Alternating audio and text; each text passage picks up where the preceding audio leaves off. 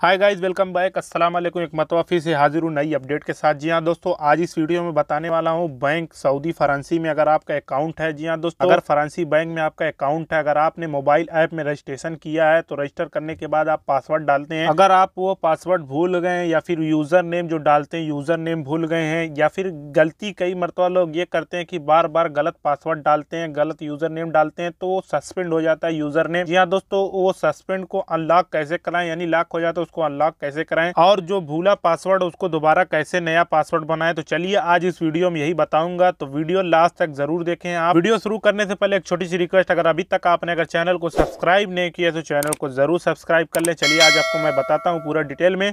तो यहाँ पे मैं आ गया अपने मोबाइल स्क्रीन पे। यहाँ पे देख सकते हैं फ्रेंसी मोबाइल एप्लीकेशन ये प्ले स्टोर में मिल जाएगा। आप जाके डाउनलोड कर सकते हैं। तो ये इसको ओपन कर देंगे हम। उसके बाद ये थोड़ा सा टाइम लेगा। ये आपके इंटरनेट की स्पीड के ऊपर है तो ये फाइनली ओपन हो चुका है। तो यहाँ पे देख सकते हैं यूज़र नेम और पासवर्ड यहाँ पे ऊपर आपको दिख रहा है। अगर आपको मालूम है तो यहाँ पे लॉगिंग हो सकता है। अगर नहीं मालूम है तो यहाँ पे फॉरगेट यूज़र नेम और पासवर्ड कर सकते हैं। नीचे पे यहाँ पे क्लिक करना है। अगर क्लिक करेंगे, उसके बाद यहाँ पे आपके सामने देख सकते हैं अकाउंट नंबर आपको आ गया ऑप्शन यहाँ पे अकाउंट नंबर फिलअप करना है। जी हाँ दोस्तों, आपका अकाउंट नंबर फिलअप करने के बाद कंटिन्यू कर देंगे। तो फाइनली यहाँ पे मैं अपना अकाउंट नंबर डालूँगा, उसके बाद फिर कंटिन्यू कर दूँ तो मेरा अकाउंट नंबर फिलअप हो चुका है, उसके बाद कंटिन्यू कर दूँगा। तो यहाँ पे नेक्स्ट पेज ऑप्शन आ जाएगा। यहाँ पे देख सकते हैं, आपका आईडी नंबर अब मांगेगा। यानी अकामा नंबर आपको यहाँ पे फिलअप करना होगा। जी हाँ दोस्तों, यहाँ पे अकामा नंबर भी मैं डालूँगा, उसके बाद कंटिन्यू करता हूँ।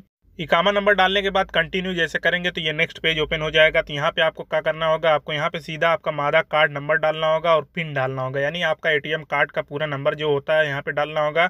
उसके बाद फिर पासवर्ड डालना होगा, यानी जो आप पैसा निकालते हैं, वो पिन डालना होगा। और उसके बाद आप यहाँ पे नीचे देख सकते हैं, आपको यहाँ पे नीचे मैं दिखा रहा हूँ, यहाँ पे देख सकते हैं अनलॉक करके हैं, यहाँ पे यूज़र नेम अगर आपका अनलॉक हो चुका है, यानी आपको अनलॉक करना है लॉक हो चुका है तो यहाँ पे कर सकते हैं, अगर पासवर्ड आपको चेंज करना है तो यहाँ से आप रीसेट कर सकते हैं। जी हाँ दोस्तों, आपका रजिस्ट्रेशन जो पासवर्ड यहाँ से चेंज हो जाएगा। उसके बाद फाइनली यहाँ पर मैं अपना आधार कार्ड नंबर डालूँगा, उसके बाद पासवर्ड डाल दूँगा। तो फाइनली मैंने अपना पूरा फिलअप कर दिया, आधार कार्ड नंबर और पासवर्ड उसके बाद फिर मैं ऊपर वाले पे करूँगा या एकदम नीचे वाले पे नहीं क्लिक करूँगा, क्योंकि मुझे आईडी जो भूली है वो जानना है मुझे, यानी यूज़र नेम जो मैं भूल गए वो जानना है। अगर नीचे पे आप कर देंगे तो आपका पूरा यूज़र नेम फिर से बनाना होगा पासवर्ड बनाना होगा। तो मैं अपना यूज़र नेम जानना चाहता हूँ तो यहाँ पर आपको ऊपर क्लिक कर देना है। जैसे आप क्लिक करेंगे, उसके बाद आपके सामने नेक्स्ट पेज ओपन हो जाएगा। ये एसएमएस कोड आएगा आपके मोबाइल पे, जिसका ओटीपी बोलते हैं वन टाइम पासवर्ड भी बोलते हैं। तो आपके मोबाइल पे ये ओटीपी आएगा, यहाँ पे ओटीपी चार अंक का होगा यहाँ पे भरना होगा। तो फाइनली यहाँ पे मैं भर रहा हूँ अपना, उसके बाद फिर कंटिन्यू कर दूँगा। तो कंटिन्यू जैसे आप करेंगे, उसके बाद आपके देख सकते हैं, यहाँ पे कंटिन्यू करने के बाद ये नेक्स्ट पेज ओपन हो चुका है।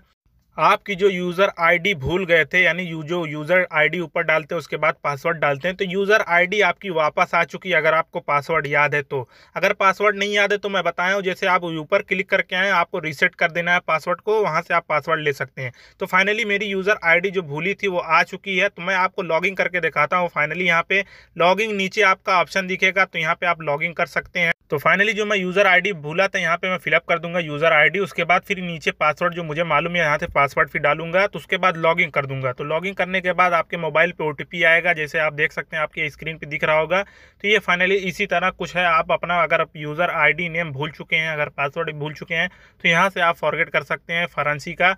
यहाँ पे मैं अपना ओ टी फिलअप कर दूँगा, उसके बाद कंटिन्यू करेंगे तो मेरा अकाउंट फाइनली खुल जाएगा। जैसा कि यहाँ पे देख सकते हैं, मेरा अकाउंट ओपन हो चुका है तो आपके सामने स्क्रीन पे दिख रहा है। तो ये पूरा डिटेल आपको आसानी से यहाँ पे आप देख सकते हैं, मेरा अकाउंट यहाँ पे फाइनली ओपन हो चुका है। अब आपको किसी की परेशानी की टेंशन की ज़रूरत नहीं है। अगर आपका यूज़र नेम भूल गया तो आप इसी तरह से अपना यूज़र नेम निकाल सकते हैं।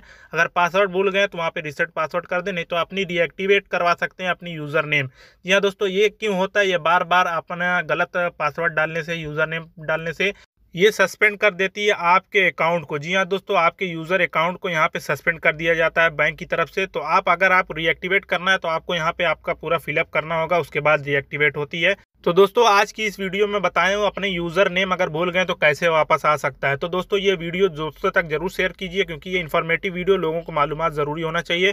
तो इजाज़त चाहता हूँ इंशाल्लाह आपको नेक्स्ट वीडियो के साथ मिलता हूँ। दुआ में याद रखना। लेकिन अगर अभी तक आपने चैनल को सब्सक्राइब नहीं किया चैनल को ज़रूर सब्सक्राइब कर लें। अल्लाह हाफिज़।